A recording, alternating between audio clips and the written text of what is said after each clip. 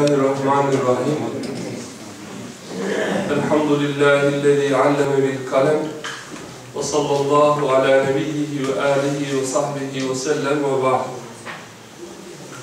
Muhterem Müslüm hocaların kardeşleri, sabah şerifleriniz hayır olsun. Hayırlar feth olsun inşallah. Bugün Mürselat suresini tefsir edeceğiz inşallah.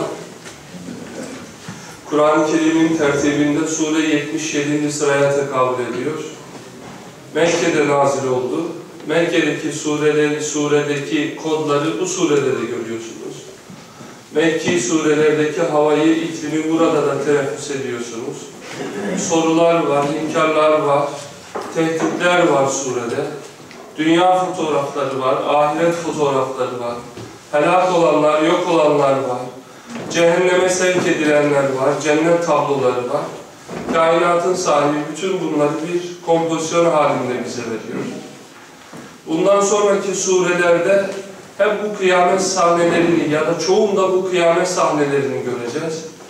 Çünkü akide hacerul esas, varlığımızın, imanımızın esas taşı ahirettir. Yani ahiret üzerine varoluşunu İslam inşa ediyor.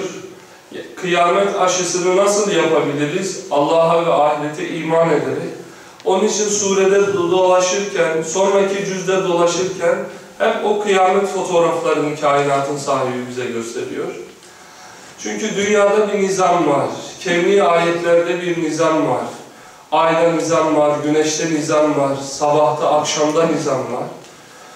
Aklınız size şunu söylüyor. Madem ki bütün bunlarda nizam var, o zaman bu nizamların sahibi yeryüzünde yapılan adaletsizlikleri, zulümleri, cevru cefaları, ümmeti İslam'a, ümmeti mazlumeye yapılanların bir de hesap yerinin olması gerekir. Yani kainattaki nizam böyle bir adaleti de gerektiriyor. İşte o adaletin yeri kıyamettir. Kıyamet bilinci, ahiret bilinci olmayan devletler ne kadar mamur olursa olsun onlar zalim olurlar. Yani zulüm onların gündemlerinin sürekli merkezini, ana maddesini teşkil edecektir. Bir evde kıyamet bilinci olmasa, bir sokakta kıyamet bilinci olmasa, bir dükkan düşünün, o dükkanın sahibinde kıyamet bilinci yok. O evde zulüm olur. O, o dükkanda müşteriye karşı zulüm vardır. Yani alırken farklı bir teraziyle, satarken farklı bir teraziyle satacaktır. Sürekli daha çok kazanabilmenin planlarını yapacaktır. Eğer bir devlette ahiret bilinci yoksa, bir dünyada ahiret bilinci yoksa, o zaman orada orman kanunları geçerli olacaktır. Güçlü olanlar zayıf olanları ezecektir. Yani ahirete inanmayan, eğer ahirete inanmayan toplum ama birisinin, gözleri görme melekesini kaybeden birisinin büyük bir çukura koşması gibidir. Yani aslında bu insanlar akıllı zannettiğimiz, işte elinde kalem olanlar, düşünce merkezleri olanlar, strateji uzmanı diye ekranlara çıkarılıp görüşlerine müracaat edilenler, hakikatte bunlar kim? Büyük bir kuyu var önlerinde, o kuyuya doğru koşan kör insanlar. Belki on, belki yüz adım sonra helak olacaklar. Yok oluşlarını getirecek adımı atacaklar ama buna rağmen koşuyorlar. İşte kıyamet bizim önümüzdeki böyle bir tablo. İnsan buna inanmadıysa Allah'a iman etmediyse böyle bir yok oluşa doğru koşuyor. Yani bu sure ve sonrasında gelecek bütün sureler bize diyecek ki yerde bir nizam görüyorsunuz.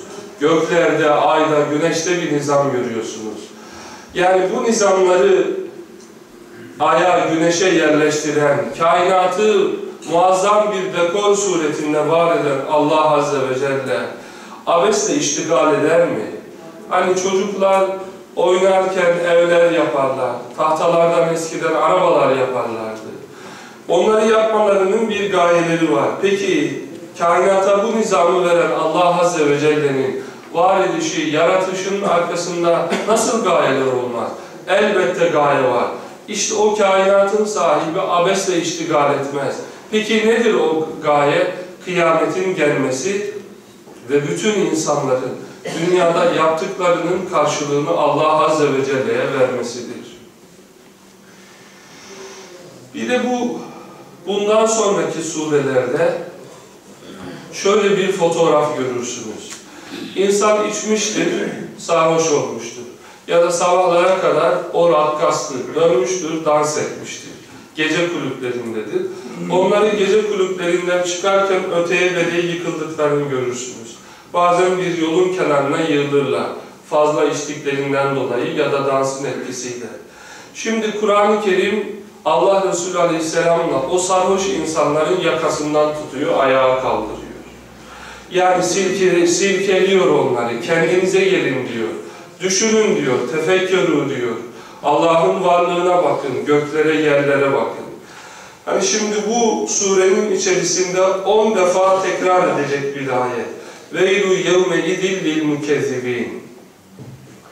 Yani o yalanlayanlara veil olsun. O gün o yalanlayanlara sonsuza kadar veil olsun. Veil kelimesi burada müpteda olarak geliyor. Geçen hafta da kısaca bahsetmiştik nasıl nekire bir kelime müpteda oluyor diye.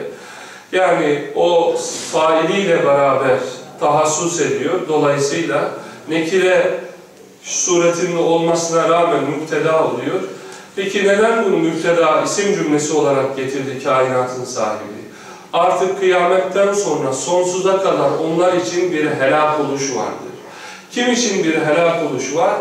Yani peygamber vasıtasıyla Allah Azze ve Celle bu insanların yakasından tutuyor. Sarhoş birisi yere düşmüş. Tutuyorsunuz, ayağa kalk diyorsunuz, kalkıyor. Burada yatılmaz diyorsunuz.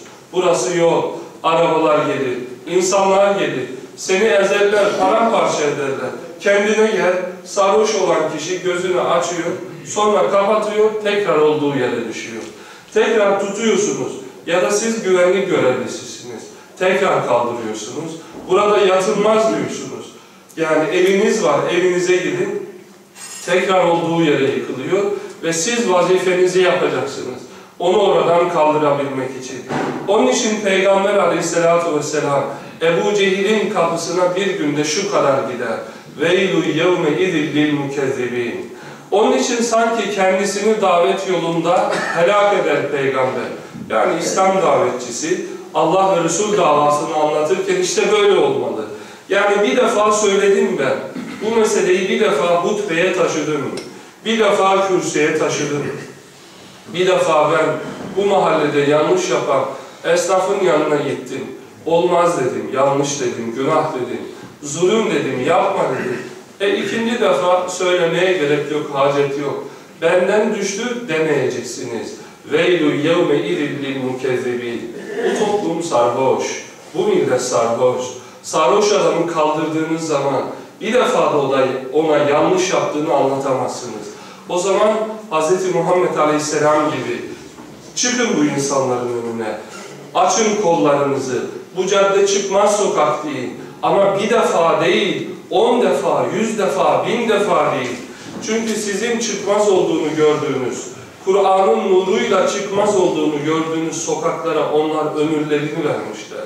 Hayatlarını vermişler. Düşüncelerini, ideolojilerini, okullarını, varoluşlarını hep o sizin yanlış olduğunu Kur'an'ın bereketiyle gördüğünüz o sokaklar üzerine bina etmişler. Bir defa da alamazsınız. Bir defa da onları yollarından çeviremezsiniz. Onun için Kur'an-ı Hakim burada idil lil mukezzibin bir tablo anlatacak.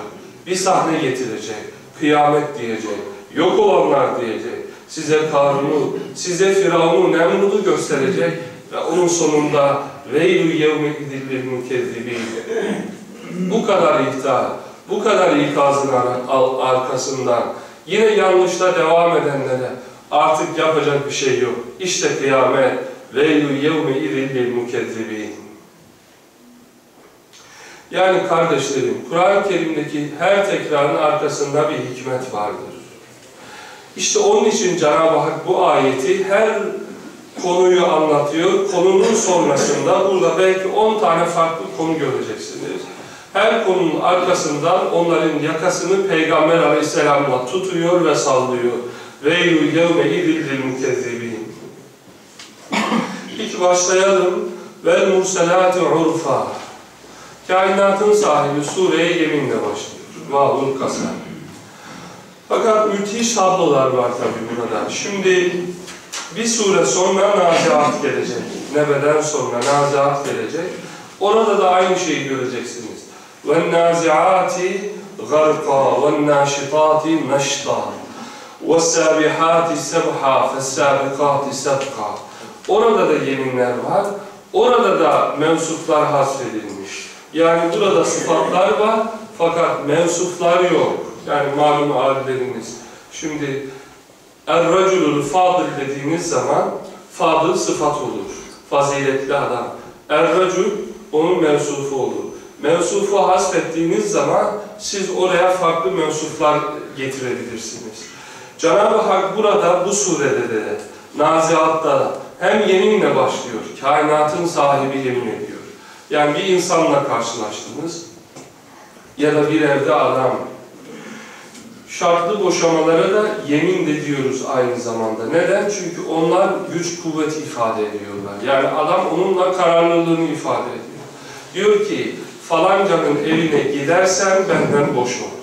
Yani bu aynı zamanda da yemindir diyoruz. Fakat burada yemin ifadesi yok. Vallahi tallahi yok. Çünkü yeminle karşı tarafındakine, muhatabınıza şunu söylüyorsunuz. Ben bunu yapmada kararlıyım. Kişi eşine de talipte bulunduğu zaman ben bunda kararlıyım diyor. Peki kainatın sahibi yemin ediyor. Vel murselati urfa ya da vel naziati garka diyor. Yani şimdi bu Kur'an-ı Hakime, Kur'an'ın ruhuna, Kur'an'ın iklimine yabancı olmayan ruhlar işte o zaman sarsılıyorlar. Onun için Allah Resulü Aleyhisselatü Vesselam namaz kılarken ashab-ı kiram Efendimiz Aleyhisselam'ın yanında duruyorlar. Ezizun ke ezizil mircel. Yani Allah Resulü Aleyhisselam'ın yüreği o sadrına sığmıyor yani. Tıpkı kaynayan bir tencere gibi. Nasıl üzerinde kapağını saklamaz. Peygamber Aleyhisselam'ın yüreğinde hafakanlar var. Sadrına kalbi şerifi sığmıyor Hz. Muhammed Aleyhisselam'ın. Çünkü Kur'an'ın ayetlerini okurken onları tilavet ederken sanki kıyametin tabloları, kıyametin sahneleri Allah Resulü Aleyhisselam'ın göz önünde sahneleniyor. Yani bir ayet-i kerimeye Allah Azze ve Celle şimdi nelerin sığdırdığına bir bakınız. وَالْمُرْسَلَاتِ عُرُفًا Mensufu mahzuf dedik. Yani siz şimdi burada mensuf olarak neyi getirebilirsiniz? Riyah dersiniz, rüzgarlar. Yani o peşi sıra gönderilen rüzgarlara yemin olsun. Bu rüzgarları kim gönderiyor? İşte o kıyameti var edecek Allah Azze ve Celle gönderiyor. Yani bazen وَاَرْسَلْنَا الرِّيَاحَ لَوَاقِحَ Rüzgarlar gelir, Allah Azze ve Celle o rüzgarlarla sizin bitkilerinizi aşı yapar. وَاَرْسَلْنَا الرِّيَاحَ لَوَاقِحَ Yani o dişi hücreler vardır, erkek hücreler vardır. Çiçek mevsimi geldiği zaman ya da daha öncesinde rüzgarlar gelir, erkek hücreler ve dişi hücreler arasındaki aşılamayı yapar. Ve erselme riyâhe. Kur'an-ı Hakim'in asırlar önce bahsettiği bu aşılama hadisesini insanlar bugün ancak keşfedebiliyorlar. Ya da o rüzgar gelir bazen bir milleti helak eder. Vel murselat urfa. Peşi sıra gönderilen o rüzgarlara, o rüzgarlara yemin olsun. Yani bu urfa atın şu kafasının üzerindeki tüyler gibi. At dört, dört nala kalktığı zaman hızlı bir şekilde giderken onların böyle şehrayini görürsünüz. Muazzam bir dekor vardır. İşte rüzgarlar böyle gelir. O rüzgarlar gelir bazen haftalarca beldelerine, köylerine yağmur getir, yağmur gelmeyen insanlar için bir rahmet olur. Ellerini kaldırırlar. Ya Rabbi sana nihayetsiz şükürler olsun. Yeniden yağmurla buluşuyoruz derler. Bazen de o rüzgar bir topluma, bir millete helak oluşu, yok oluşu getirirler. İşte kasırgayı, tufanı yeni Amerika'da gördünüz. vel murselati urfa. Yani kainata öyle bir dekor vermiş, öyle bir nizam vermiş ki bazen yağmur olan rüzgar bir şehir için bazen yok oluşta olabilir. Bunları idaresinde tutan kim? Bunları sevk eden kim? Vel murselati urfa. İşte kasırganın da yağmuru getiren rüzgarların sahibi de aynı Allah'tır ve o Allah gönderdiği rüzgarlara yemin ediyor. Vel murselati urfa. Şimdi namazdasınız. Kur'an-ı Hakim'in bir ayetini okuyorsunuz. Vel murselati dediniz. İşte oradaki kasırgayı düşünüyorsunuz ya da köydeki yağmuru düşünüyorsunuz. Haftalarca sonra bir rüzgarın ardından gelen yağmuru, o yağmuru gönderen kainatın sahibini tefekkür ediyorsunuz. Rahlenizin başındasınız, Kur'an'ın ayetini tilavet ediyorsunuz. Peki, fel asifati asfa. Şimdi o rüzgar bazen rahmet olarak gelebilir. Yine hep bunların başında ferriyahil asifat diyoruz. Yani sarsan o rüzgarlar, ağaçları sarsan, kökünden alıp götüren rüzgarlar, evleri söken rüzgarlar, evlerin çatılarını götüren, arabaları bir yaprak gibi uçuran rüzgarlar. Fel asifati asfa, onlara yemin olsun. Ve naşirati neşra, yağmuru yağan, öteye beti, beriye götüren, hani Allah Resulü Aleyhisselatü Vesselam Medine'deler, Ravza'dalar, hutbe irad ediyorlar. Bir cuma günü bir bedevi geliyor. Hani Babur Rahme var, Babur Rahme. Neden Babur Rahme deniyor Ravza'daki o kapıya? Efendimiz Aleyhisselatü Vesselam minberde dua hutbe irad ediyorlar. O kapının olduğu yerden birisi geliyor. Mescide geliyorlar. Ya Resulallah helak olduk. Hayvanlarımız helak oldu. Yavrularımız helak oldu. Yağmur gelmiyor. Ellerini kaldırsan, dua etsen Allahumma aleyna üzerimize rahmeti, bereketi gönder ya Rabbi diyor. Ashab-ı kiram efendilerimiz Allah Resulü aleyhissalatu vesselam günlerce yağmur gelmeyen Medine'de ellerini kaldırdığı zaman sema bembeyazdı yani. Orada buluttan tek nokta bir eser göremezdiniz. Ellerini indirir indirmez semayı bulutlar kapladı ve yağmur boşaldı Medine'ye. Şimdi bir rüzgar bekliyorsunuz Medine'de. Hz. Muhammed Aleyhisselatü Vesselam ellerini kaldırmış. Bedevi hayvanlarımız helak oldu. Yavrularımız helak oldu. Su, yağmur, rahmet istiyoruz. Ya Resulallah ellerinizi kaldırırsanız gökten rahmet boşalıyor. Bir rüzgar geliyor, rüzgarın arkasından yağmur geliyor. Peki, fel asifati asfa. İşte o rüzgarlar size bazen Medine'de olduğu gibi yağmuru getirirler, bazen de kasırgaları getirirler ve bir milletin helak oluşunu anlatırlar size.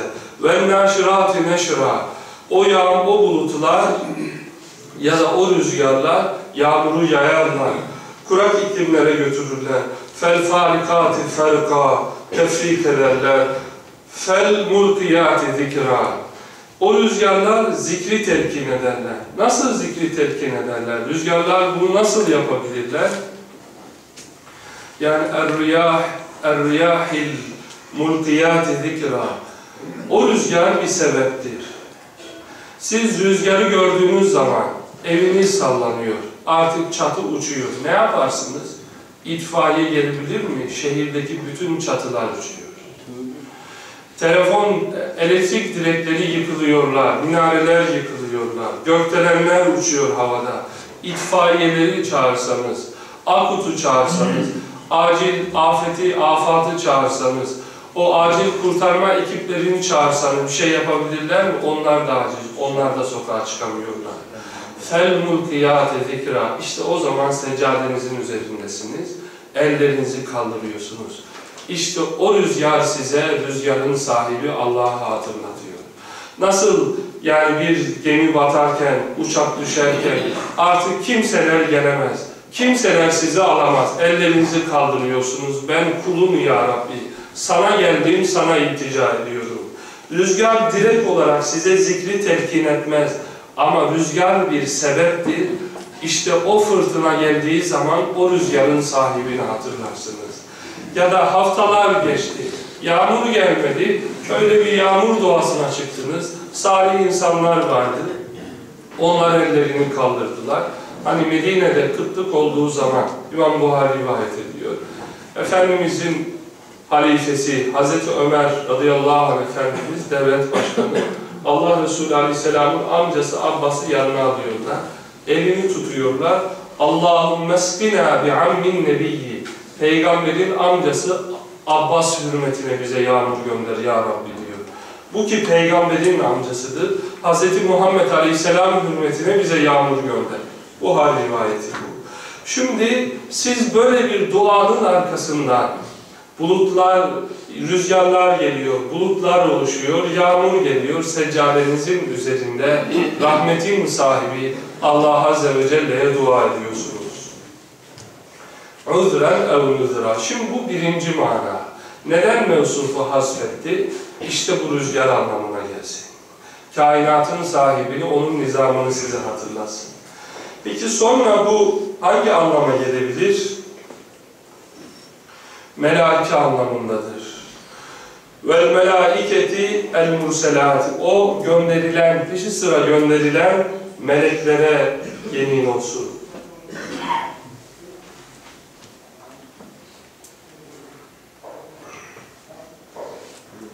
Neden meleklere yemin ediyor?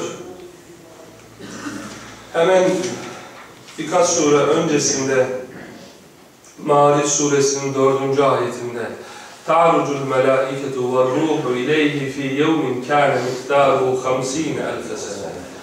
Öyle muazzam bir sistemde yaratmış ki onları. Yani sizin dünya gününüzde 50 yıla tekabül edecek bir zamanda onlar vazifelerini icra ediyorlar. Vel murselâtu urfa. O peşi sıra gönderilen meleklere yemin olsun. Yani 50 yıllık bir mesafeyi bir anda alan meleklere, o hızın sahiplerine yemin olsun. Rahlenizin başındasınız, bu ayeti okuyorsunuz. Diyorsunuz ki Ya Rabbi, önemli şeylere yemin edilir. Neden meleklere yemin ettiniz? Gözümüzün önünden tablolar kalkıyor. Azrail her gün belki yüz bin defa yeryüzüne iniyor, insanların ruhunu kabzediyor. Vel murselat urfa, ölüm meleğini, melekül mevti, günde yüz bin defa belki yeryüzüne gönderip insanların ruhunu alan Allah'ım sana hamdü senalar olsun. Allah'ın bu nizamını görüyorsunuz. Ya da Mikail'i, İsrafil'i görüyorsunuz. Sizlerin sabah vakti gelip nöbet değiştiren, ikindi vaktinde nöbet değiştiren, insanların amellerini yazan o melekleri görüyorsunuz. Kiramen katibini görüyorsunuz. Vel murselat urfa. Melekleri idaresine alan, onları yaratan, onlara bu vazifeleri veren, alemin farklı noktalarına onları tevzi eden, da dağıtan Allah Azze ve Celle'nin kuvvet ve kudretini tefekkür ediyorsunuz. Hani öyle melekler ki aleyha melaiketun gilazun la ya'sun Allah ma emeruhum ve yef'alun ma yu'merun. Asla Allah Azze ve Celle'ye isyan etmeyen, onun emirlerini yerine getiren o melekleri düşünüyorsunuz.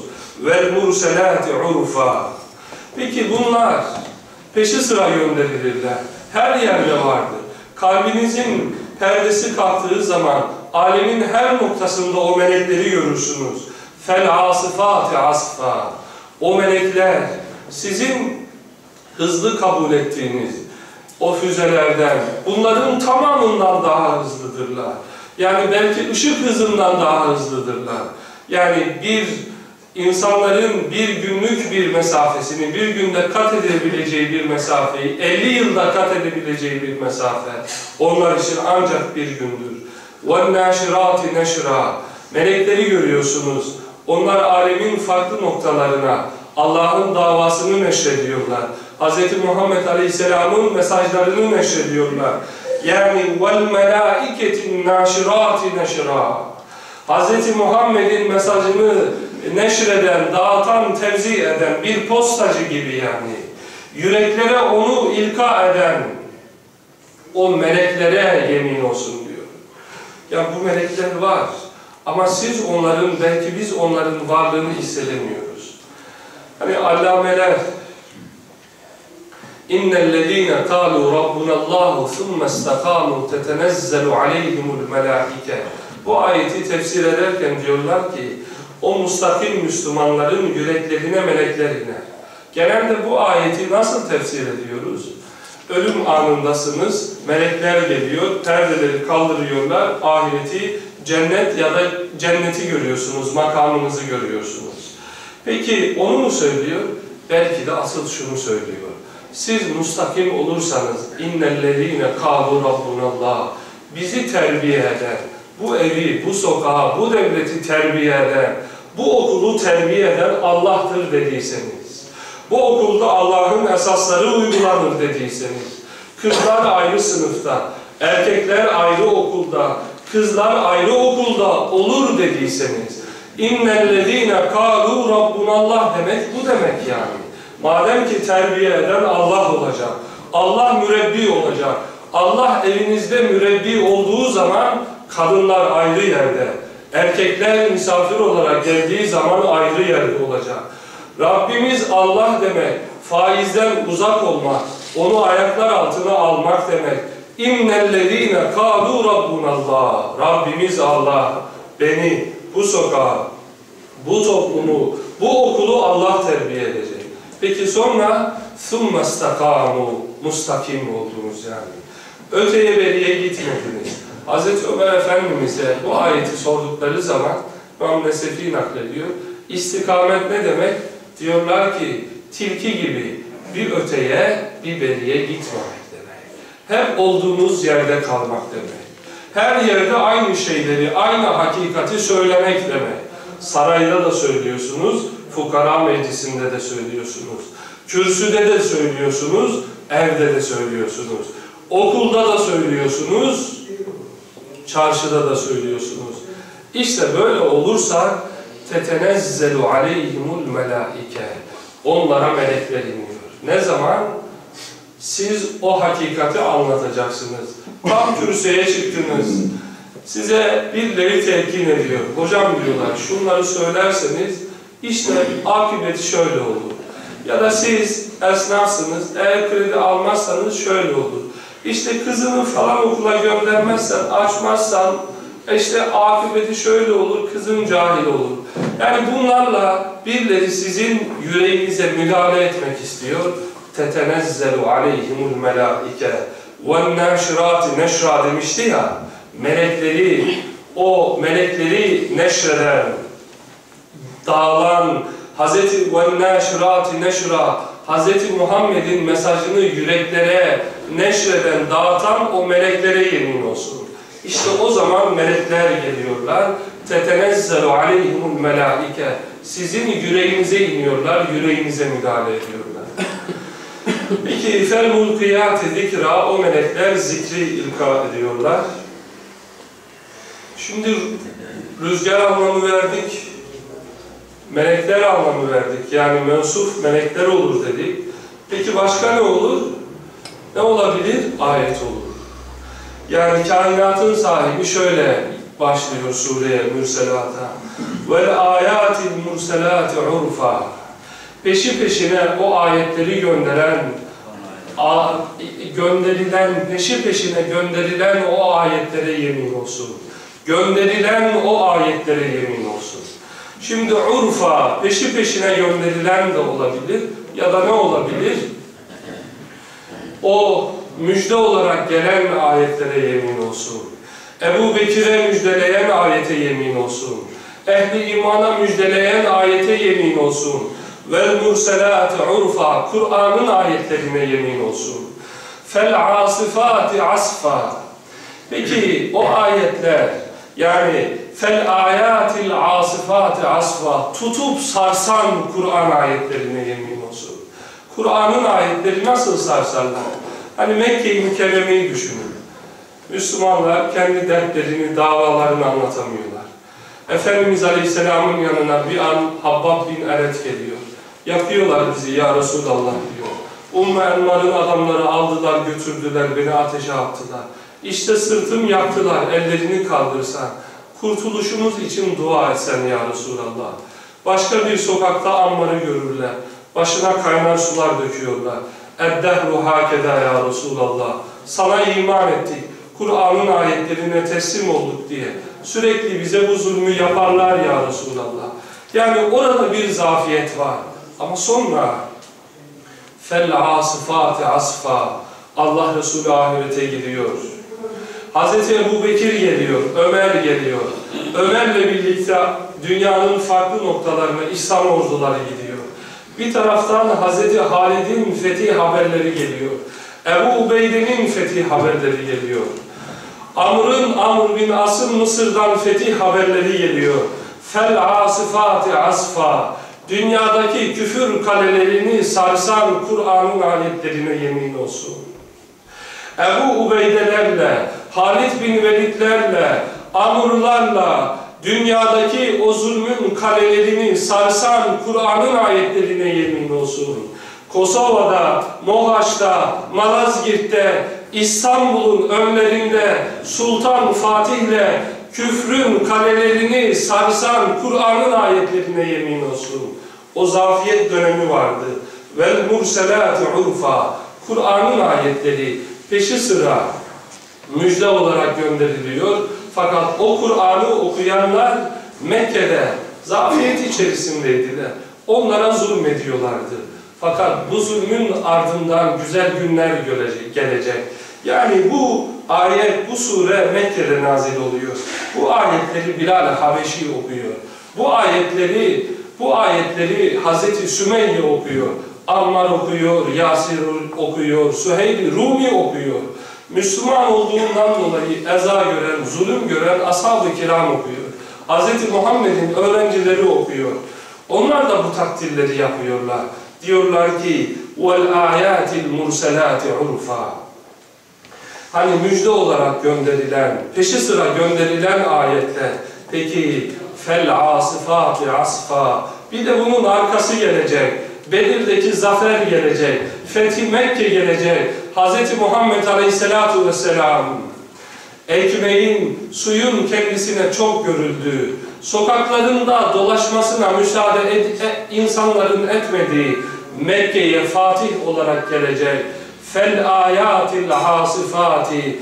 İşte o zaman Allah'ın ayetleri Mekke'deki küfrün merkezi olan evleri sarsacak, sallayacak, sallayacak ve sarsacak ayetlere yemin olsun diyor.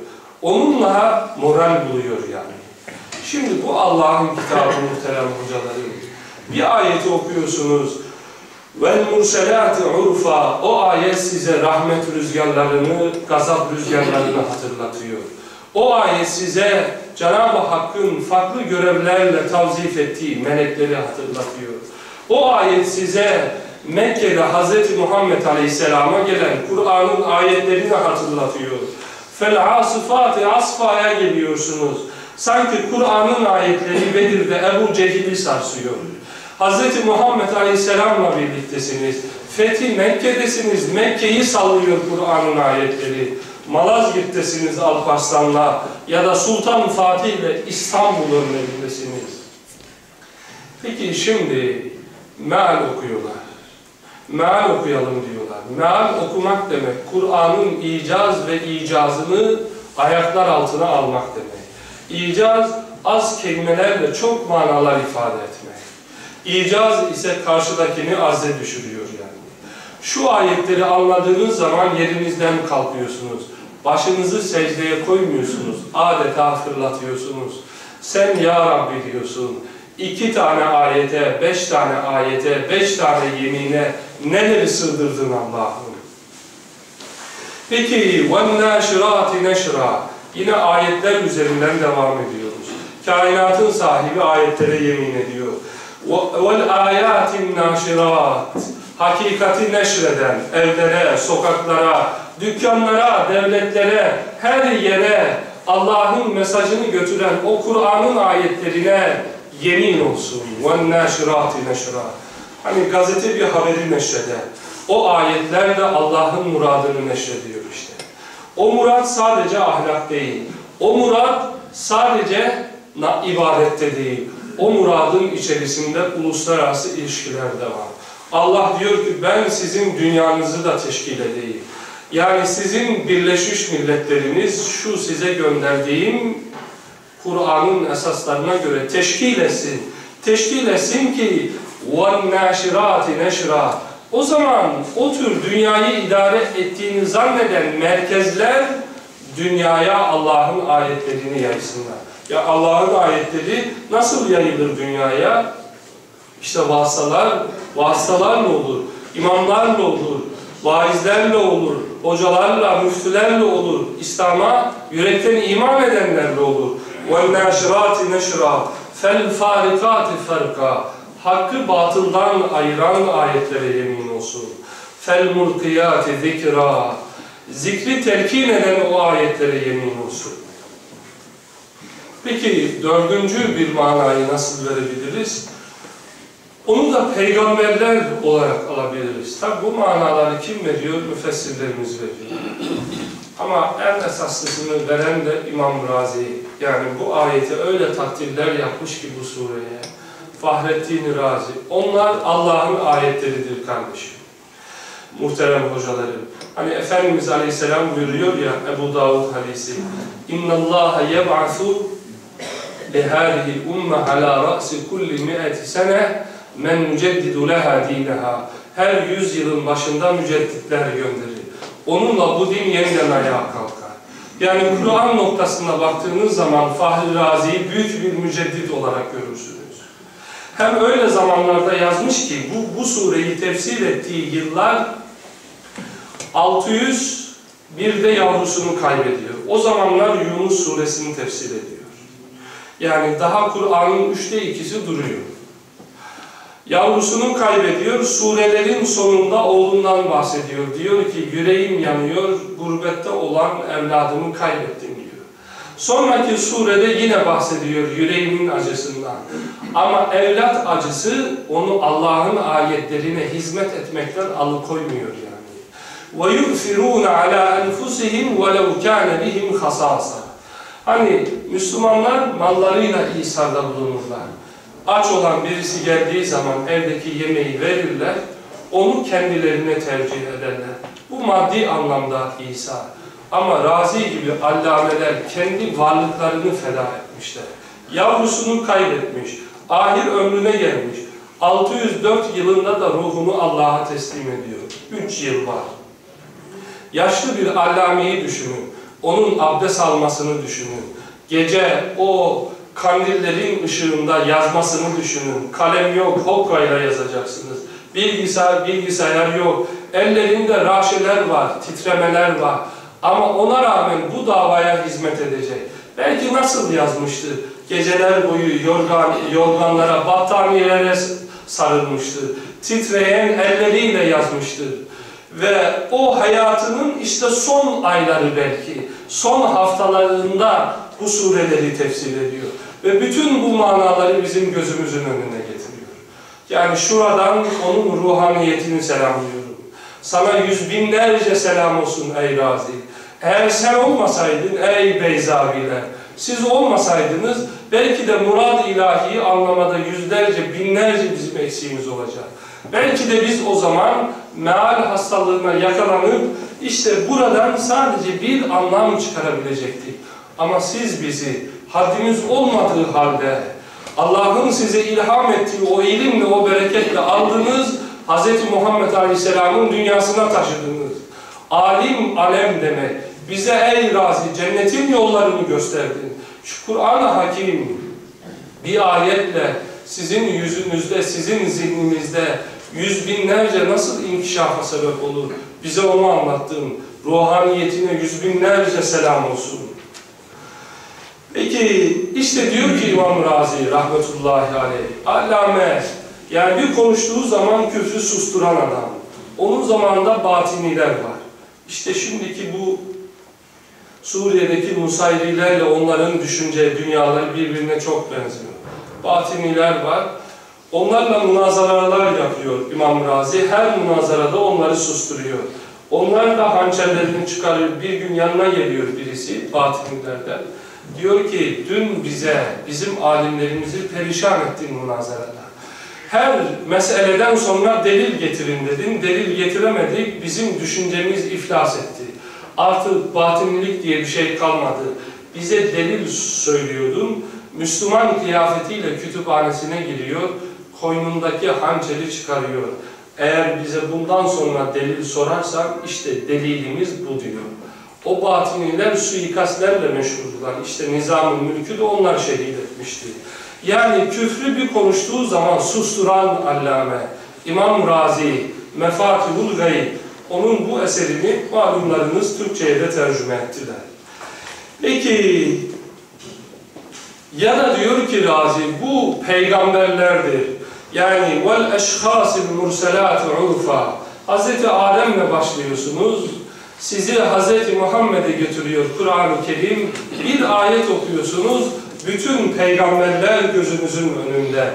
İsa'yı görüyorsunuz, Musa'yı görüyorsunuz. Hz. Nuh'u görüyorsunuz. Biz helak olduk, yenildik, mağlup olduk ya Rabbi bize imdad eyle diye yalvardığını görüyorsunuz. Hz. Yunus'u görüyorsunuz. Vel murselat urfa. Peşi sıra gönderilen o peygamberlere yemin olsun. Balığın karnında La ilahe illa ente subhaneke inni kuntu minez zalimin diye Allah Azze ve Celle'ye yalvarıyor.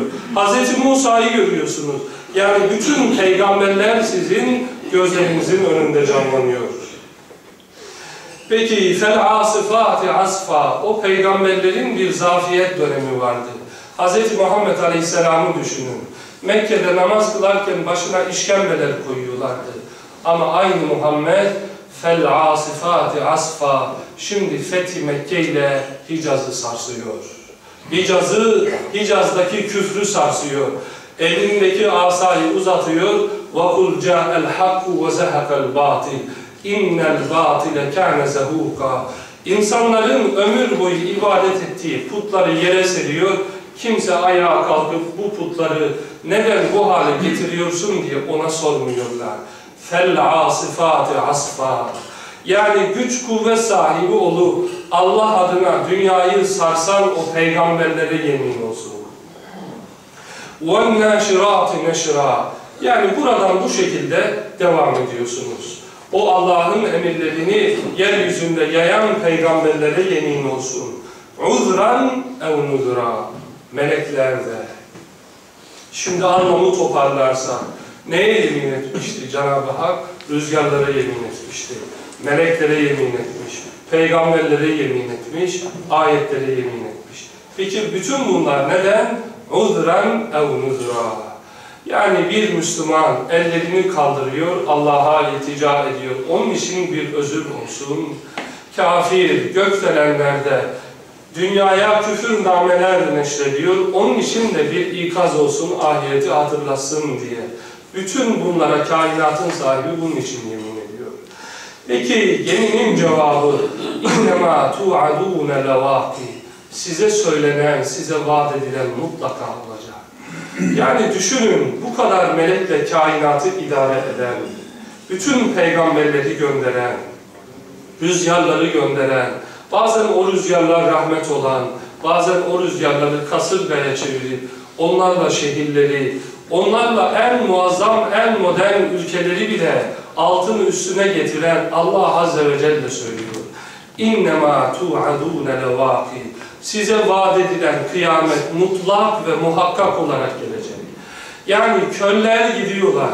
Onlar gökdelenlerinde gidiyorlar.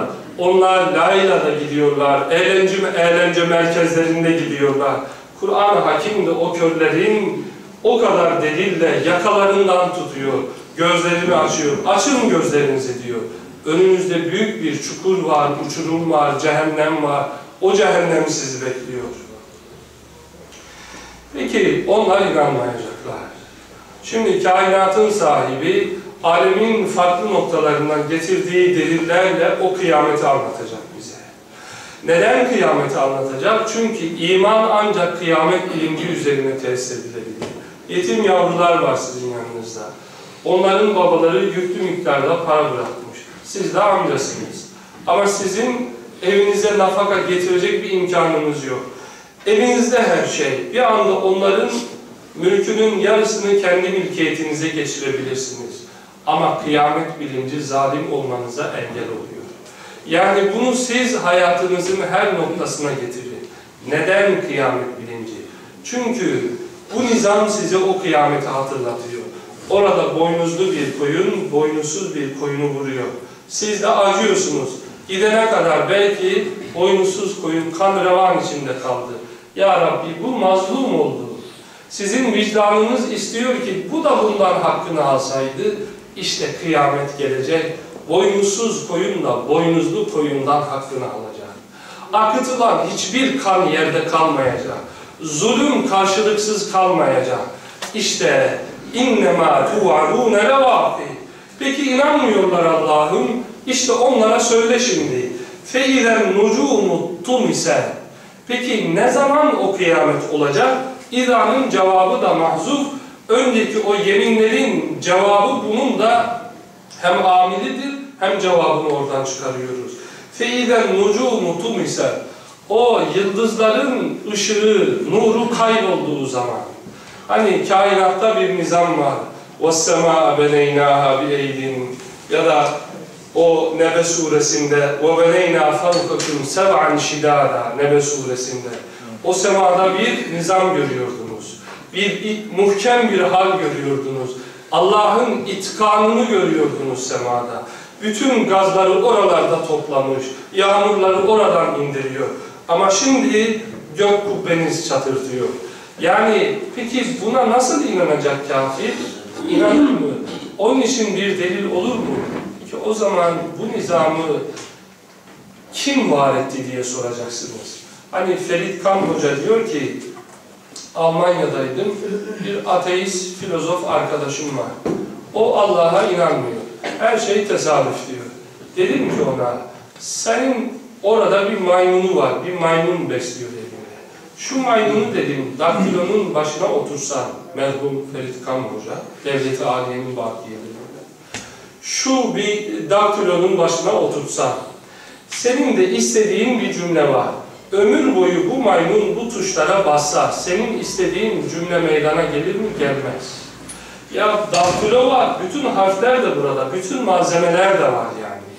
Veya şöyle yapsanız siz, bu maymuna 29 tane harfi kesseniz, bir poşetin içerisine koysanız, dağıtsanız, sonra eline verseniz, deseniz ki şuradan siz o benim istediğim cümleyi yerine getirin. Ömür boyu o maymun o harfleri dizse, sizin istediğiniz o cümle meydana gelir mi? Gelmez. Peki tesadüfen maymun var, harfler var. Tesadüfen bir cümle yerine gelmiyor da. Şu dünya, güneş, ay, bu nizam tesadüfen nasıl olabilir? Ve fi kulli şeyin lehu ayet tedullu ala ennehu vahidun. Gördüğünüz her şey bir ayet, bir işaret ve bize Allah Azze ve Celle'yi hatırlatıyor. Şimdi o kafire diyor ki Kur'an-ı Kerim, kıyametin olacağını, o yıldızların ışığını, nurunu kaybedeceğini, paramparça olacağını ya da inanmıyorsa peki o yıldızları kim yarattı, kim var etti? Hani bir arabanız var zaman zaman bozuluyor, onu götürüyorsunuz servise, yağını vesairesini değişiyorlar. Peki ya gezegenler, o yörüngelerinde dönen aylar güneşte nasıl onlar sarsılmıyorlar? Onlara bu nizamı veren kim? Kim verdiyse o Allah abesle iştigal etmiyor ve vakti geldiği zaman o yıldızlar nurunu kaybedecek. Kaybettiği zaman olacak bunlar işte. Yani Allah'ın size vaat ettiği ne zaman olacak? Feilen nucumu ise Müthiş bir manzara. Gök kubbe çatır diyor. Yıldızlar parçalanıyor. İşte böyle bir zaman önünüzde bir kıyamet var. Allah'ı inkar ettiniz. Hem o korkunun içerisinde kıyamette bunların da hesabını vereceksiniz. وَاِذَا السَّمَاءُ فُرُجَتْ Sema yarılıyor, kapılar açılıyor. وَاِذَا الْجِبَالُ نُسُفَتْ Dağlar yerinden sökülmüş. O muhkem dağlar. Onlar yürüyorlar. Toz derecikleri haline getirilmişler. Ve iler rusul ukrite. İşte gök kubbe çatırdıyor. Dağlar yürüyor. Sema parçalanmış. Böyle bir zaman ve iler rusulu ukrite. Peygamberlere bir zaman tayin edilmişti. Yağmanan peygambere, Hz. Musa'ya, Hz. Muhammed Aleyhisselatu Vesselam'a o korku mahşerinde kafirler orada yürekleri ağızlarına gelmiş يَوْمَ يَقُومُ الرُّوحُ وَالْمَلَائِكَةُ صَفَّا Bütün melekler, Hz. Cibril hepsi saf olmuşlar. Allah'ın hükmünü bekliyorlar. İşte o zaman Hz. Muhammed Aleyhisselam'a Cenab-ı Hak mikrofon sende. Şimdi sen konuşacaksın diyor. Ebu Cehil bakıyor, Utbe bakıyor, Şeybe bakıyor. Kıyametin sahibi, gökyüzü parçalanmış, dağlar paramparça olmuş. Ve iler rusulu ukkite.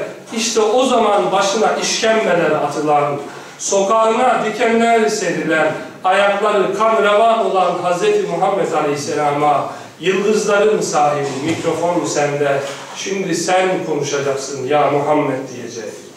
لِأَيِّ يَوْمٍ اُجِّلَ İnsanlar diyorlar ki, yani bu kıyamet neden bu kadar öteye, öteye gönderildi? لِأَيِّ يَوْمٍ اُجِّلَ Uhret yani. Neden böyle tehir edildi? لِيَوْمِ fasli O mahlukatın arası ayrılması için. Li yevmil fasli fasıl gününe yani. Fasıl günü ne zaman o kıyamet? Kıyamet yevmul fasıldır.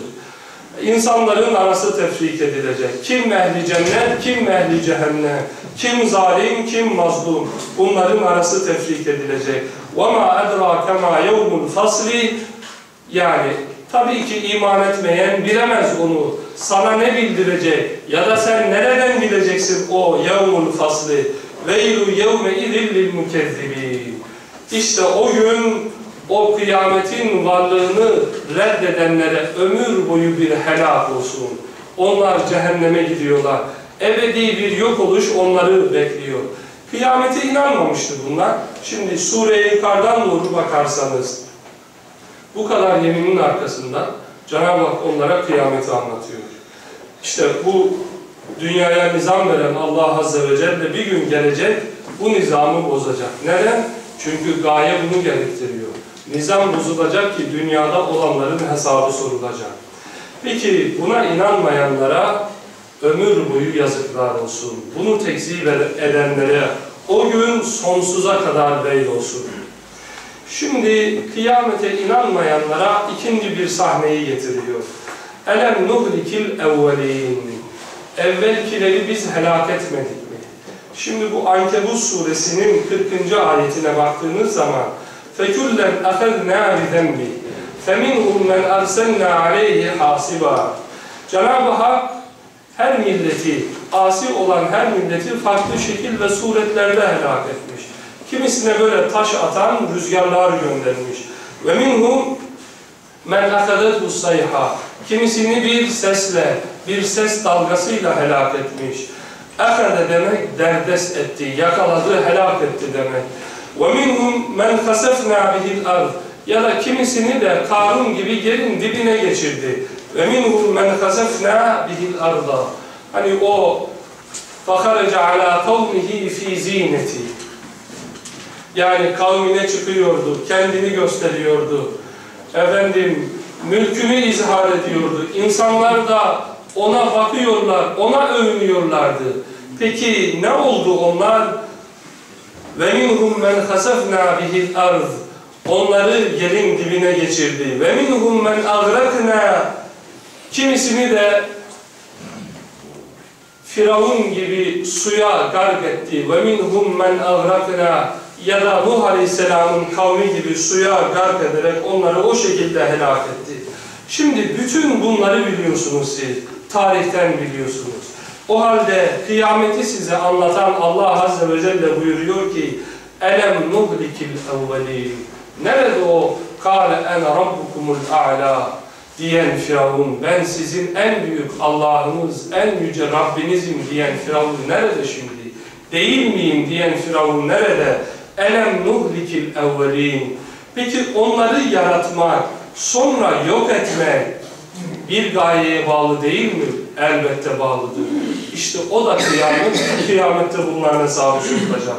ثُمَّ نُتْبِعُهُمُ الْآخِرِينَ Fil muzari. Sonra ardı sıra onlara yenilerini ekliyoruz biz. كَذَٰلِكَ نَفْعَلُ بِالْمُجْرِمِينَ Mücrimlere böyle yapıyoruz. وَيْلُ يَوْمَ اِذٍ لِلْمُكَذِّبِينَ Hani dolaşıyorlar, turlar düzenliyorlar. Belki gidiyorlar, piramitleri de görüyorlar. Ama sadece turistik bir seyahat. Orada piramitlere bakıp piramitlerin dibinde ben sizin en büyük Allah'ınız değil miyim diyen Firavun'u helak eden Allah Azze ve Celle'nin kudretini düşünmüyorlar. İşte o kudreti düşünmeyenlere veylu yevme idil lil mukezzibin neyi yalanlıyorlar? İşte onu. Yani her veylu yevme idil lil mukezzibin o bölümdeki konuyla alakalı. Onu anlayamayan, onu yalanlayanlara o gün yazıklar olsun. Şöyle kısaca muhtasar bir surette arz edelim sonrasını. Yeni bir tablo getiriyor. Şimdi önce dış dünyadan getirdi. Yani o helak olanlar neyi anlatmıştı bize? Onları var eden bir Allah vardı, helak etti. Helak ettiyse bu helak edişi bir gayeye bağlıdır. O da kıyamet. Orada hesabını soracak. Şimdi iç dünyadan size deliller getiriyor. Yani insanoğluna rehlesini hatırlatıyor. Hani diyor, Elem nahlukkum min ma'in mehin. Bayağı adi bir suydunuz. Yani bir damla menide milyonlarca, yüz binlerce belki hücreler vardı. Eğer Allah Azze ve Celle anne karnında size hayat vermeseydi, sizi tesviye etmeseydi, o zaman siz bir necaset çukuruna gidecektiniz. Oradan sizi alan, mükemmel surette var eden, dünyaya gönderen, dünyadan ahirete sevk eden Allah değil mi? Elem nehlukkum min ma'in. Sizi bayağı sudan yaratmadık mı? فَجَعَلْنَاهُ ف۪ي قَرَارٍ مَك۪ينَ Sonra onu muhafazalı bir yere koyduk. Yani annenin rahminde döllenme olduğu zaman onun etrafında tabakalar var. O tabakaların içerisinde kuruduk. Yani bir hava girmiş olsa oraya onu ifsad edecek, yok edecek. Cenin düşecek belki yani. Anne karnında kalamayacak. İlâ tebedin malum. Belli bir zaman gerekiyor. Organlarınızın oluşması için. Kim sizi orada saklayan? فَقَدَرْنَا فَنِعْمَ الْقَادِرُونَ Bütün bunlara güç yettiren biziz ya da فَقَدَرْنَا فَقَدَّرْنَا demek. Sizin anne karnında bir damla sudan, bir hücreden gözlerinizi, kulaklarınızı, kalplerinizi, bütün organlarınızı takdir eden fakat derna biz takdir ettik feni'mel kadirun nerede bizim sanatımızda eksiklik görmüyor musunuz? Veylu yevme idillil mukezzibin bir damla sudan gelen eğer Allah onu insan olarak ihtiyar etmese yok olacaktı. Kimse bilmeyecek. Bir necaset kuyusuna karışacak sonra toprakta eriyecekti. Sizi oradan alıp da insan suretine getiren Allah'ın bu varoluş ayetlerini inkar edenlere sonsuza kadar veil olsun. Veylu yevme idillil mukezzibin. Peki sonra yine kıyameti bize anlatmaya devam ediyor. Bu defa da yine harice çıkıyor. Dışarıdan deliller getiriyor. getiriyor. Elem nec'alil arda kifata ahya'en ve emvata. Yeryüzünü toplayan, ölüleri ve dirileri toplayan. Dirileri toprağın üzerinde, ölüleri de toprağın altında saklayan yapmadık mı? Allah Azze ve Celle yeryüzünü hep kayalıklar yapmış olsaydı, peki nereye gömecektiniz ölülerinizi? Onları gömmemeniz durumda birkaç gün sonra kokacaklar, onların olduğu şehirlere giremeyecektiniz. Kim bu hale getirdi yeryüzünü? Sizi üzerinde toplayan kim? Toprağı var eden kim? Toprağı, bitkileri yetiştirecek kıvama getiren kim? Ona yağmuru indiren kim? Bütün bunları yapan nasıl olur da bunları ortadan kaldıracağı bir gün olmaz? Yani bu toprağı bu şekilde yaratmak mı daha zor yoksa bunu yok etmek mi? Yaratmak daha zor. O halde yaratmayı yapan Allah yok etmeyi yapmaya da muktedirdir. İşte bu ayetler bize kıyameti hatırlatıyor. وَجَعَلْنَا ف۪يهَا رَوَاسِيَ شَامِخَاتِ وَاَسْقَيْنَاكُمْ مَاءً فُرَاتًا Dağlardan bahsediyor, sudan bahsediyor. وَاَسْقَيْنَاكُمْ مَاءً فُرَاتًا Sizi tatlı sularla bereketlendirdik. Eğer sular olmamış olsaydı ya da Amerika'da su yok, Asya'da su olsaydı orada hayat olmayacaktı. Ya da bir ülkede, bir kıtada su olsa değerlerinde olmasa oralarda hayat olmayacak. Suyu hayat olacak şekilde bütün kıtalara, bütün bölgelere yayan biz değil miyiz? Yani bu tesadüf olabilir mi? Yani hep erkekler Amerika'da olsa, kadınlar hep Asya'da ya da hep erkekler Asya'da, kadınlar Amerika'da olsa 100 yılda orada hayat biterdi. Peki kadınları, erkekleri o kıtalara, insanların gitmelerinin, gelmelerinin, eş almalarının zor olduğu o uzak mesafelerde bile erkek ve kadın orantılı oranlarını dengeli olarak yaratan Allah değil mi? Bütün bu nizamın sahibi. O halde bunları inkar edene veylu yevme izin lil mukezzibin. O kıyamet günü bu delillerin hiçbirisini görmeyenlere sonsuza kadar yazıklar olsun. Peki şimdi başka bir bölüm. Bu kadar delili reddedenlere kıyametin sahibi emrediyor. İntaliku ila ma kuntum bihi tukezzibun. Hani dünyada reddediyordunuz. Bu ayetler size okunurken hiçbirine iman ve ikan etmemiştiniz. Şimdi reddettiğiniz o cehenneme doğru gidin. Kafileler de halinde gidin.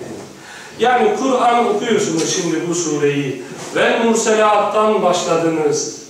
Ve Murselat sizi aldı, meleklere götürdü, rüzgarlara, peygamberlere, Kur'an'ın ayetlerine götürdü. Sonra oradan etrafınızda inanmayanlar var, yıldızlara, aleme, alemdeki nizama, onların ecel vaktine, son bulacağı ana gittiniz. Oradan tarihe uzandınız. Allah'a isyan edenlerin helak oluşunu gördünüz. Elem nuhlikil evvelin. Sonra oradan kendi dünyanıza çekildiniz. Bir damla suydunuz, bir damla sudan sizi ihtiyar etti. Dünyada sizin rihleniz, sizin seyahatiniz, Allah'a doğru yürüyüşünüz başladı. Sonra oradan sizi çekti, yaşadığınız dünyaya götürdü. Bu dünyayı var eden kim dedi size? Sizi oradan alıyor şimdi. Eğer bütün bunlar rağmen inanmıyorsa bu kişi اِمْطَلَقُوا اِلَى مَا كُنْتُمْ بِهِ تُكَذِّبُونَ İşte Allah'ın cehennemi sizi bekliyor. Peki o cehennemi tasvir ediyor sonra. Buralar, bu tasvirleri siz mufassal olarak tefsirlere bakınız. Ben sadece okuyayım. İntaliku ila zillin zi selati şu'ab la dalilin ve la yugni minel leheb inneha termi bi şerrin kel kasri ke ennehu cimaletun sufur وَيْلُ يَوْمَ اِذِلِّ الْمُكَذِّبِينَ Peki yeni bir konuya geldi. Hala yevmu la yantikun. Şimdi intaliku ila ma kuntum bihi tukezzibun. Sevk ediyor cehenneme. İşte o zaman diyor ki artık iş bitmiş. Kıyamette muhakeme safhası da bitmiş. Hala yevmu la yantikun. Bugün konuşma günü değil. Peki Cenab-ı Hak başka ayet-i kerimede mesela Zümer suresinin 31. ayet-i kerimesinde ثُمَّ اِنَّكُمْ يَوْمَ الْقِيَامَةِ عِنْدَ رَبِّكُمْ تَخْتَسِمُونَ Zümer 31 Onlar ثُمَّ اِنَّكُمْ يَوْمَ الْقِيَامَةِ Sonra siz kıyamet günü Rabbinizin huzurunda muhaseme yapıyorsunuz. Yani münakaşa ediyorlar. Peygamberlere karşı diyorlar ki azabı gördükleri zaman yani biz görmedik, duymadık. Peygamberler de onlara hücceti getiriyorlar. Ya da zalimler diyorlar ki biz bunları ellerinden tutup da meyhaneye getirmedik. O zalimlerin telkiniyle Allah'a isyan edenler bizi bunlar bu yola sevk etti. Suç onların, onlara azabın iki katını ver diyecekler. Aralarında bir münazara, bir münakaşa, bir cedel başlayacak. Peki Zümer 31'de Cenab-ı Hak ثُمَّ اِنَّكُمْ يَوْمَ الْقِيَامَةِ عِنْدَ رَبِّكُمْ تَخْتَسِمُونَ diyor da burada neden هَذَا يَوْمُ لَا يَنْتِقُونَ diyor. Yani bu işte kıyametin olduğu bu an konuşma anı değil. onlar konuşamayacaklar. يَوْمُ لَا يَنْتِقُونَ Ne demek? İşte kıyametin bir muhakeme safhası var. Orada konuşacaklar ama şimdi o muhakeme bitti. Artık cehenneme gidiyorlar. Cehenneme sevkiyat başladı. Artık konuşmalar bitti. Kalemler kırıldı yani. وَلَا يُؤْذَنُ لَهُمْ فَيَعْتَذِرُونَ Onlara izin verilmeyecek ki özür beyan etsinler. Artık e, defterleri dürüldü onların. Şimdi bu ayetler o kadar müthiş ki alimler bu ayetleri okurken namazda düşüp bayılanlar var. هَذَا يَوْمُ لَا يَنْتِقُونَ وَلَا يُؤْذَنُ لَهُمْ فَيَعْتَذِرُونَ Yukarıdan aşağıya eğer bu ayetleri anladıysanız işte buraya gelince burada adam yıkılıyor. O kuvvet ve kudret sahibinin huzurunda وَلَا يُؤْذَنُ لَهُمْ فَيَعْتَذِرُونَ yani Kur'an-ı Kerim böyle bir kitap. Ebu Hanife ile alakalı Hayratul Hisan'da İbn Hacer diyor ki Belis sa'atu mev'iduhum ve sa'at elha ve emel. Bu ayete geliyor Ebu Hanife, takılıyor orada. Sabaha kadar dili başka bir ayete gitmiyor. Okuyor, ağlıyor, okuyor, ağlıyor, okuyor, ağlıyor. Ta fecre kadar devam ediyor. Kıyametten bahsediyorsa, o sizin ruhunuzda derin hafakanlara sebep olur, bahis olur. Veylü yevme izillil mukezzibin. Allah susturuyor. Ve diyor ki o gün o kıyametteki manzarayı reddedenlere yazıklar olsun sonsuza kadar. Hâdâ yevmul fasli cema'nâkum vel evvelîn. Bu fasıl günü. Adem Aleyhisselam'dan bu tarafa, öndekiler sonrakiler, hepsi toplanmışlar. Fe inkâne lekum keydun fekîdû. Allah Azze ve Celle diyor ki, hani siz ehli imana şu kadar zulmettiniz. Irak'ı, Suriye'yi, Filistin'i, Afganistan'ı, Müslümanların el, yurtlarını parçaladınız. Kan gövdesi her taraf kan ve gözyaşı haline geldi. Sokaklarda anneler yavrularının arkasında ağlıyorlar. Hani hileleriniz vardı, Birleşmiş Milletlerinizi kurdunuz, dünyaya nizam vereceğiz dediniz, sadece kendi sokaklarınızın nizamını düşünüyorsunuz. Müslümanların şehirlerine, sizin sokaklarınıza eman getiren İslam coğrafyasına kan ve gözyaşı getiriyor. Sizin sokaklarınıza emniyet olan dünya kuruluşlarınız Irak'ta Müslüman kadınlara tecavüz etmek demek. Böyle anlaşılıyor. Hani sizin planlarınız vardı fe imkâne lekum keydun fekeydun. Şimdi kıyamet. Hadi kurun bakalım o tuzakları. Tabelasına kardeşlik deyin. Arkada, kapının arkasında o görünmez gündemin içerisinde hile ve entikalar çevirirdiniz. Şimdi de yapın bakalım işte azaba doğru sevk ediliyorsunuz. Veylü yevme idillil mukezzibin. Buradan cehennem tasvirlerinin arkasından yeni bir tablo getiriyor. İnnel muttakine fi zilali ve. Siz ey ehli iman siz korkmayın. Çünkü siz innel muttakin ne demek? Siz dünyada Allah'tan korktunuz. O zaman cennette, ahirette korkmayacaksınız. Dünyada Allah'tan korkmayanlar ahirette yürekleri parçalanacak. Ama innel muttakine dünyada Allah'tan korkanlar ahirette mesrur olacaklar. Onun için bu korku sahnelerini okuyorsunuz şimdi. Siz de sallanıyorsunuz, siz de sarsılıyorsunuz. Hafakanlar sizi istila ediyor. İşte o zaman Kur'an hakim sizi kucaklıyor. İnnel muttakin siz dünyada korkmuştunuz ya. Allah korkusu sizi istila etmişti. Şimdi fi zilalin ve uyun gölgelerdesiniz, kınar başlarındasınız. Ve fevakihe mimma iştehun hangi meyveler istiyorsanız onlara uzanıyorsunuz. Kulu veşrebu hani'en bima kuntum ta'melun. Allah azze ve celle size buyuruyor ki yiyin, için, afiyette olunuz. Hem de lütfediyor size yani. Biz cenneti, Allah'ın nimetini, ibadetlerimizin karşılığında değil, onun lütfu karşılığında aldık. Ama Cenab-ı Hak bir anlamda bize teşekkür ediyor. Diyor ki bima kuntum ta'melun. Efendim yani hani sizin yanınıza bir misafir geldiği zaman siz ona ihsanda bulunursunuz. O da der ki ben bunlara müstahak değilim. Neden bana bu kadar iltifat ediyorsunuz? Efendim pekala siz buna müstahaksınız. Yani ehli iman bir mahcubiyet halinde onların katar katar cehenneme sevk edildiğini görüyor. Cenab-ı Hak da ehli imana bima kuntum ta'melun. Bütün bunlar yaptıklarınızın karşılığı. Sanki bir anlamda ibadetlerimizin, kulluğumuzun karşılığında cennet nimetlerinin içerisinde Allah Azze ve Celle teşekkür ediyor.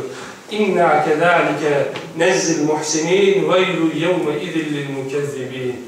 O cennetteki ehli imana olan ihsanı, Allah'ın maidesini, nihayetsiz nimetler olan, içerisinde nihayetsiz ihsanlar olan o cennet sofralarını inkar edenlere ebediyen yazıklar olsun. Peki buradan tekrar kafirlere dönüyor. Cenneti anlattıktan sonra belki son bir çare. Hani bunlar sarhoştular. Siz de güvenlik görevlisi. Sokakta yol ortasında yatmış. O halde bırakıp gider misiniz? Kaldırıyorsunuz. Burada yatılmaz diyorsunuz. Gözünü kapatıyor yatıyor. Tekrar kaldırıyorsunuz. Tekrar söylüyorsunuz. Tekrar kaldırıyorsunuz. İşte Kur'an-ı Kerim dünya sarhoşlarını kaldırıyor kaldırıyor. Veylu yevme idin lil mukezzibin diyor onlara. Kulu ve temetta'u kalilen innekum mucrimun. Yani burada az biraz daha nemalanın. Ama siz mücrimsiniz. Veylu yevme idin lil mukezzibin. Ve izâ qîle lehum urka'û lâ. Bu kadar delilden sonra onlara rükû edin. Yani Allah'a kul olun dendiği zaman iman edin yaklaşmazlar. Veylu yevme idin lil mukezzibin. İşte o zaman siz bu cehennemi ebediyen yok oluşu hak ettiniz. Febi eyyi hadisin ba'dehu yu'minun. Allah Resulü okuduğu zaman yüreği yerinden çıkacak gibi olan bu Kur'an'dan sonra Ebu Hanife okurken sabahlara kadar dili takılıp gözlerinden yaşlar boşalmıştı. Bu Kur'an'ı okumuş o hale gelmiş. Levit onu duyduğu zaman atından atlamış, secde etmiş. Hz. Ömer Efendimiz Hasan bin Sabit Medine'nin büyük şairi. Hasan seni artık şiir meclislerinde göremiyoruz. Şiirler inşaat etmiyorsun. Neden sustun? Kur'an indikten sonra dilimi yuttun. İşte o Allah'ın ayetlerinden sonra febi eyyi hadisin bu Hazreti Kur'an'dan sonra bir ayetinde vel murselati urfa rüzgarları rüzgarlarla köyde Allah'ın rahmet diye yalvaranları Amerika'da kasırgada yok olanları ya da vel murselati urfa size Allah'ın bütün meleklerini ya da vel murselati urfa bütün ayetlerini ya da bütün peygamberlerini bir ayette size anlatan, özetleyen bu Kur'an'dan sonra febi eyyi hadisin ba'dehu yu'minun neye iman edecekler? İşte Kur'an deliller mahşeri, deliller manzumesi. Madem ki buna iman etmiyorlar, bundan sonra onlara artık başka bir şey söyleyemezsiniz. Kur'an-ı Hakimi onların dünyasına taşırsınız. Bir defa, bin defa söylersiniz. Eğer inanmayacaklarsa onların yüreklerini Kur'an dışında başka hiçbir şey aşamaz, açamaz ve aşamazlar. Tebi hadisin ba'dehu yu'minun. Rabbim bu delilleri hayatına tatbik eden bahtiyar kullar kadrosuna bizi ilhak eylesin. Kıyamet aşısı, kıyamet bilinci ya Rabbi senden istiyoruz. Ruhumuza kıyamet aşısı Kur'an'ın bu ayetleriyle zerk eyle Allah'ım diye yalvarıyor. Niyazda bulunuyoruz. Rabbim söylediklerimle amel etmeyi önce kendi nefsimle daha sonra sizler üzerinde tesirini halletmesin. Velhamdülillahi Rabbil Alemin.